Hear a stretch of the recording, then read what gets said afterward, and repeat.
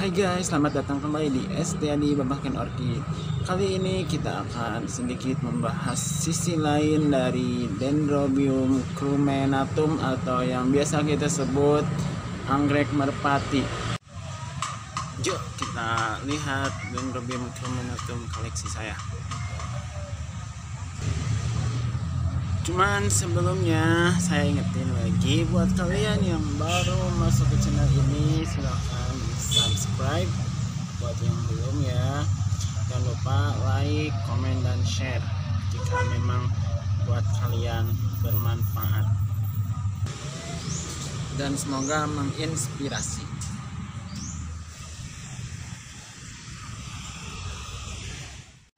Di dalam dunia peranggitan keberadaan anggrek ini tidaklah terlalu diperhitungkan. Padahal setiap orang sangat menyukai anggrek ini selain itu banyak sekali kelebihan dari anggrek ini yang tidak banyak dimiliki oleh anggrek-anggrek yang lain. Cuman sayangnya kelas dilata sudah terlanjur melekat e, dalam anggrek ini. Maksudnya kelas dilata di sini karena anggrek ini bukanlah anggrek yang mahal. Dan tidak terlalu banyak dicari oleh kolektor kecuali mempunyai warna yang lain lain daripada yang umum. Ataupun bunganya makarnya lebih lama dari anggrek-anggrek yang lain maksudnya anggrek yang lain itu anggrek Dendrobium crumenatum yang pada umumnya. Karena memang ada Dendrobium crumenatum yang bunganya makarnya lebih lama sampai 2-3 hari. Seperti punya Bapak Alyani Prasetyo dulu itu makarnya lumayan lama sampai 3 hari. Dan ada juga beberapa varian warna yang banyak dicari seperti yang warna hijau dulu pernah sampai heboh ya beberapa tahun yang lalu di Facebook ada teman dari kalau tidak salah itu dari Ambon itu memiliki Dendrobium crumenatum yang warnanya hijau. Terus makannya juga lama entah itu sama Dendrobium crumenatum atau bukannya. Cuman sekarang nggak tahu apakah anggrek tersebut masih ada dan orangnya juga saya lupa siapa. Saya rasa saya wajib banget untuk membahasnya karena antara saya dengan Dendrobium crumenatum itu punya kisah yang panjang. Yang menurut saya sangat menarik untuk dibahas sebenarnya. Cuman e, kalau dibahas di sini kayaknya memang terlalu panjang. Anggrek ini sangat bersejarah sekali antara saya dengan anggrek dan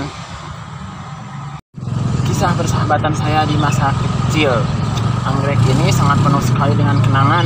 Ya intinya anggrek ini jadi media nostalgia saya tentang zaman dulu zaman saya masih kecil zaman saya masih dengan sahabat-sahabat rahasia saya banyak banyak banget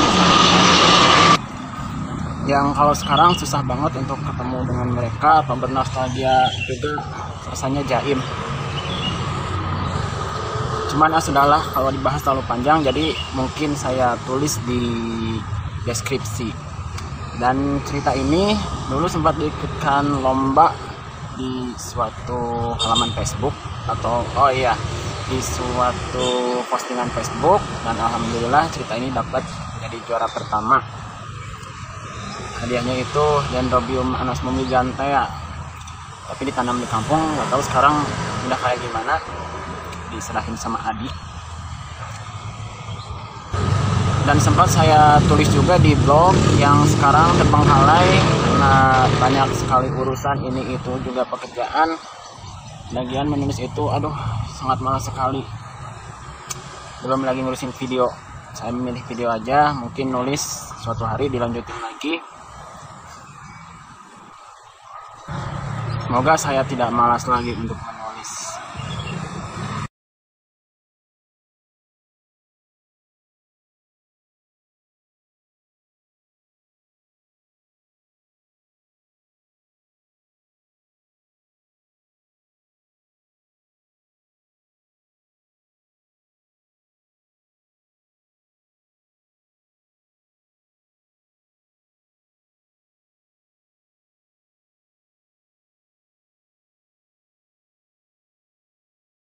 Uniknya dendrobium dari section crumenata itu tiap tanaman bisa berkali-kali berbunga. Ini juga udah dari awal banget dari pertama nanam sampai sekarang udah berapa tahun terus-terusan berbunga makin panjang.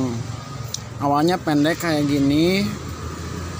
Tapi nanti daun-daun ini akan berguguran dan membuat tanaman semakin panjang tangkainya nah tangkainya dari bulb yang kehilangan daun. Nah ini masih ada daun sedikit tapi yang ini yang belakangnya udah ada hilang dan keluar calon bunga dari bekas buku-bukunya. Nanti ini juga bakalan hilang dan di sini di setiap bekas daun-daunnya akan menjadi buku pokok keluarnya anggrek. Keluarnya bunga anggrek nah ini yang baru tapi yang paling panjang paling baru paling panjang itu tandanya tanaman ini subur di sini subur makmur.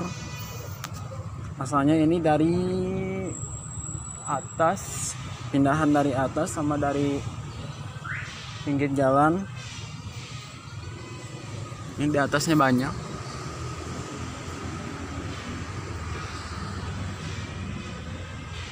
jarang sekali ada anggrek yang kayak gini anggrek dari jenis dendrobium maksudnya.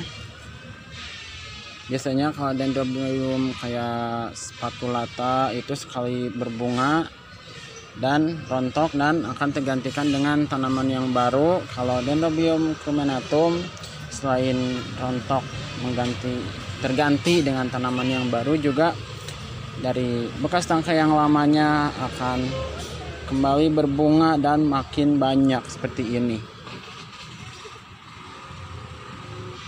Semakin ke sini akan semakin banyak dan kalau yang ini malah keluar tunas.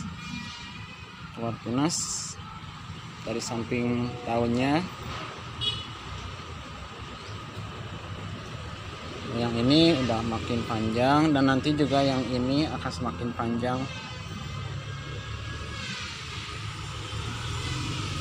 ini saya ikat. Bunganya saya ikat karena habis disilangkan tadi pagi dengan tetangganya itu. Nah itu itu tetangganya. Semoga jadi. Kalau nggak laku ya buat koleksi. Hasilnya semoga keren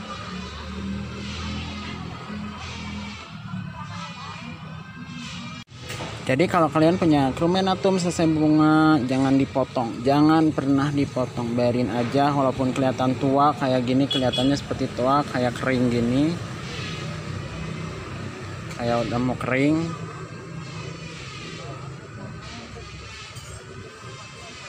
Padahal masih mengeluarkan bunga. Ini kayaknya udah kering padahal ternyata masih mengeluarkan bunga kayak gini kalau pas lagi gak berbunga ini kayak mau dipotong aja padahal masih hidup.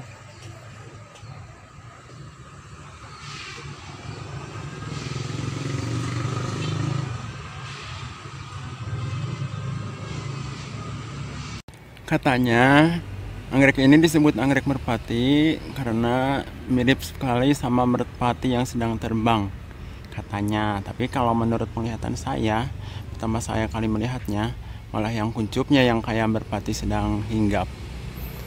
Nah lo kan? Malah yang kuncup kayak gini yang kayak merpati lagi hinggap. Nah coba lihat yang ini nih.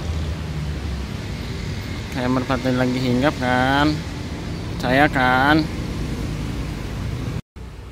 Oh iya, anggrek ini berbunga pada peralihan musim, entah dari musim hujan ke panas, dari hujan ke kemarau atau dari kemarau ke hujan. Nah, di saat cuaca tidak menentu, anggrek ini juga bisa berbunga. Jadi kalau cuaca tidak menentu, untuk Anda yang memiliki anggrek ini itu sangat menguntungkan. Nah, guys, di sini bisa kita lihat contoh dari akibat cuaca yang tidak menentu. Akibatnya anggrek ini kembali berbunga. Kembali lagi mengeluarkan spike setelah sebelumnya saya take video pada tanggal 10 September sekarang tanggal 10 Oktober dia kembali lagi berbunga padahal baru sebulan baru sebulan yang lalu. Itu karena akibat dari cuaca yang tidak menentu September kemarin kemarau kering banget sampai kurang lebih 30 derajat di Bandung. Kemudian turun hujan hujannya karena hujan buatan jadi cuma sebentar-sebentar hingga akhirnya merangsang anggrek ini untuk berbunga. Dan sekarang sebulan setelahnya yakni tanggal 10 Oktober kembali lagi berbunga. Sekarang mungkin memang sudah saatnya untuk musim hujan. Sekarang hujannya hujan normal bukan hujan buatan lagi. Di sini bisa kita lihat kelebihan dari anggrek ini yaitu bekas bunga yang dulu kembali lagi mengeluarkan bunga. Kayak gini tuh lihat hijau-hijau.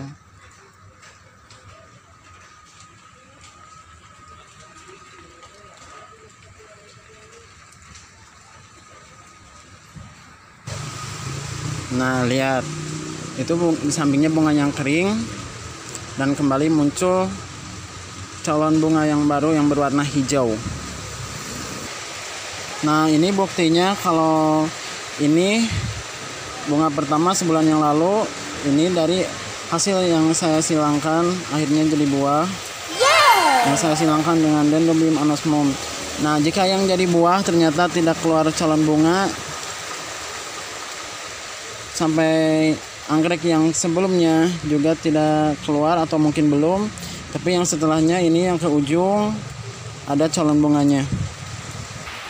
Alhamdulillah hujan lagi guys. HP ku nggak waterproof.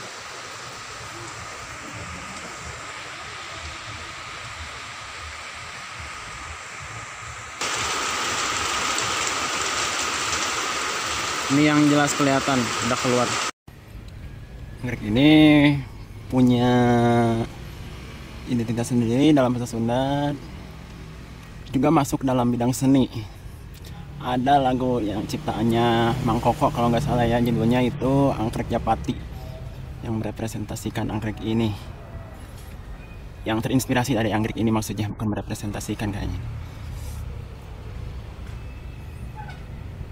orang Sunda sudah kenal banget dengan anggrek merpati. Dalam sehari-hari kita menyebutnya anggrek japati, anggrek japati.